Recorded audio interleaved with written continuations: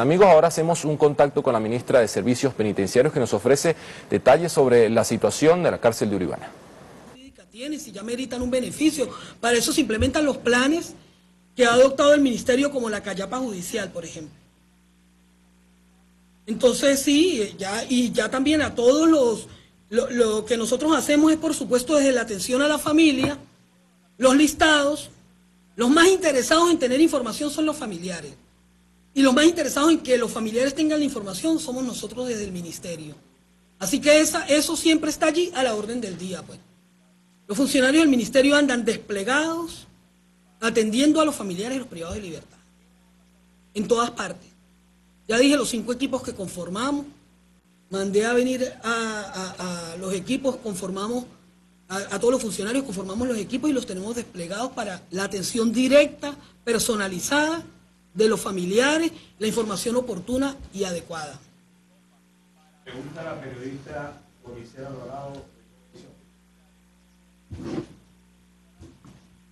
Eh, ministra, quisiera saber por qué responsabilizar a los medios de los resultados de la situación de ayer en Uribana cuando el director del penal en horas de la noche del jueves anunció lo de la requisa y lo de la presencia de los funcionarios militares en el penal. Y en segundo lugar, eh, hasta cuándo se va a mantener esa presencia militar en las inmediaciones del penal y qué va a pasar con Uribana luego de que sea desalojada, es decir, ¿van a volver los internos o, no va a ser utilizada más como una cárcel? Mire, con respecto a la primera pregunta, a las pruebas me remito. ¿Por qué responsabilizar? Además, no se puede generalizar, ¿no? Fíjense como pregunta Globovisión, ¿no? O la vocera de Globovisión aquí en esta rueda de prensa.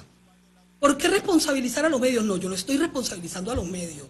Yo estoy responsabilizando a Globovisión y al impulso. Eso es otra cosa. ¿Por qué? A las pruebas me remito, ahí está. Ahí está. ¿Mm? Yo creo que ustedes son bien inteligentes, ¿no? Y se pueden sacar conclusiones. Ahí hay información tendenciosa.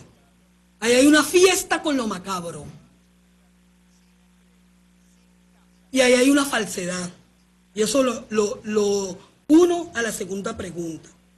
O aparte de la misma pregunta primera, cuando el director del penal, miren, yo reto a que me demuestren que el director del penal hizo tal declaración. Hizo tal declaración, no, yo reto a que lo demuestren.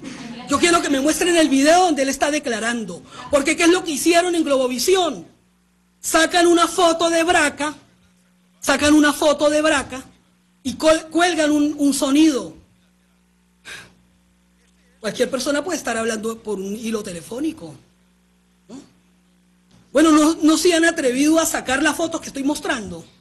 No se han atrevido a sacar un video donde dicen que al presidente lo entubaron y lo saca el país de España. Y eso lo han hecho los medios de comunicación. Entonces, ¿por qué? ¿Por qué Globovisión para curarse en salud viene a decir que eso lo dijo Braca? Cuando ellos estaban mostrando las tanquetas desde las 5 de la tarde del día anterior. Entonces a mí, es más, yo he hablado con Braca y Braca me dice que él no ha dado declaraciones. Él no está autorizado para dar declaraciones, además. No está autorizado para dar declaraciones. Entonces, bueno, eso es otra de las joyas montadas por Globovisión. Y lo otro que me pregunta es sobre la presencia del apostamiento militar en los alrededores de la cárcel, bueno, hasta que se restituya allí la situación. Y las instalaciones van a ser aprovechadas. Pues. El penal hay que primero evacuarlo para hacerle una requisa profunda, como las que nosotros hacemos, pero las instalaciones están, son aprovechables 100%. Así que una vez que se haga la requisa, tal como se hizo en el CEPRA, se procederá al, reacondicionamiento de las áreas y luego al retorno de las personas que tengan que estar allí para que cumplan sus procesos judiciales. Y en este año, en el transcurso de este año, esperamos nosotros estar inaugurando la comunidad penitenciaria, que todo el mundo sabe, porque es evidente que está bien adelantado los trabajos. Bueno, ya ahí será el destino de reclusión de las personas que sean penadas por los tribunales de la República aquí en el Estado de Lara. Siguiente.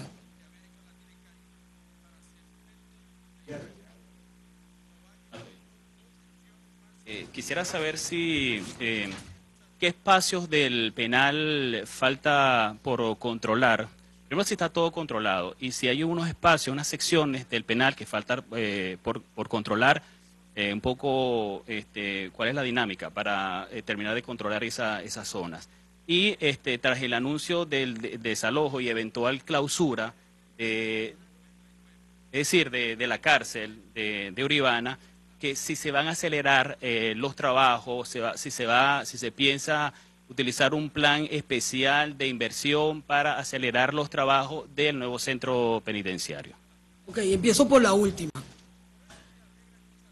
Todo el mundo sabe, porque además ahí está la evidencia de cómo desde este ministerio se ha impulsado, desde la creación de este ministerio, se ha impulsado y acelerado los planes de construcción de la infraestructura penitenciaria. No solamente la comunidad penitenciaria que está muy avanzada y que estimamos en el transcurso de este año inaugurarla y ponerla en funcionamiento, sino también que ahí mismo en terrenos de ahí de, de esa gran extensión que corresponde a ese complejo, se colocó la primera piedra del Centro para Procesados Judiciales y eso también se está realizando allí. El penal va a ser aprovechado, el centro actual. Pues.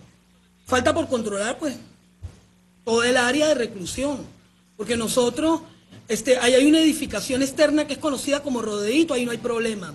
El anexo femenino ya se evacuó. Lo que era conocido como la banquera también ya está evacuado. Todas esas instalaciones las tenemos ya tomadas nosotros. El, grueso del recinto, donde, del portón hacia adentro, donde están las áreas de media, máxima y mínima.